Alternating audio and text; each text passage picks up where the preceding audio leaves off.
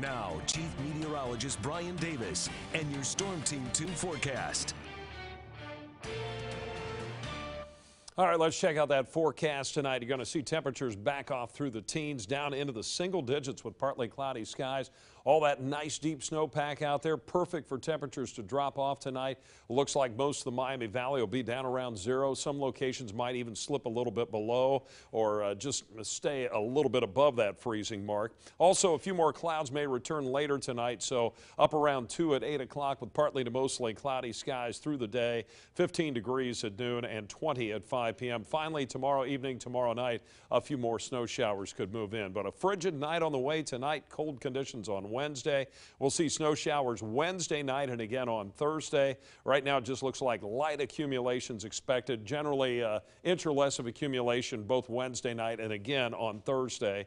And then very cold conditions at the end of the week with that snow cover still out there. Speaking of which, uh, a lot of these areas uh, with the sleet really held the numbers down around Miamisburg, Cedarville, Wilmington. Uh, but even yesterday evening, once we moved that sleet out of here and got the upper layers of the atmosphere cold enough around five, 6,000 feet, we ended up picking up anywhere from about two to four inches of snow uh, through the evening hours and shortly after midnight. But some of the heaviest totals were it stayed all snow up around uh, Bellefontaine and up around Indian Lake, Lakeview there, 10 inches of snow, nine and a half inches in Sidney, 8.4 in Piqua, 10 inches in Greenville, Fountain City, Indiana, uh, picking up nine and a half inches of snow. So it looks like that was the heaviest corridor right there, east central Indiana up into uh, Logan County. But you can still see those totals up around eight inches into Mercer and Auglaize counties. Uh, also, the snowfall yesterday, the total, including the snow that fell uh, Sunday night and into Monday morning, 5.9 inches.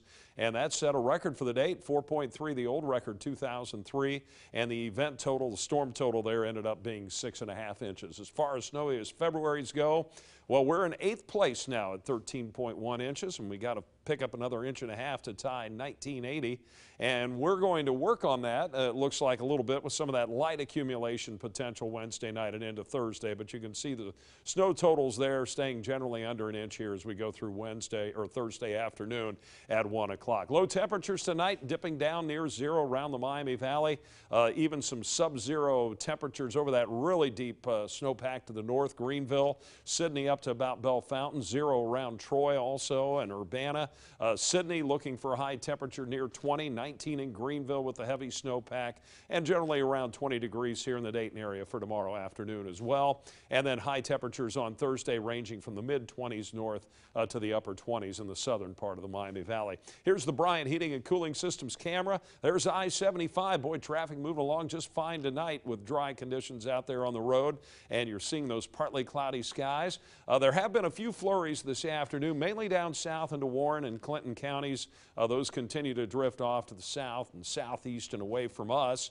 And right now in Dayton, we have a temperature reading of 18 degrees, west wind at 13 miles per hour, wind chill factor at 5 with a barometer on the rise as high pressure settles in tonight. That'll also help drop off the winds. Bellefontaine at 14 degrees, 16 in Greenville, 16 Wapakoneta, and then upper teens near 20 over the southern Miami Valley. Look for those partly cloudy skies tonight for a little while, and then late tonight will tend to cloud up again and get back to mostly cloudy skies tomorrow. Still looks dry on Wednesday, but looks like Wednesday evening, Wednesday night, snow chances will start to creep up a bit with a few snow showers moving in from the south.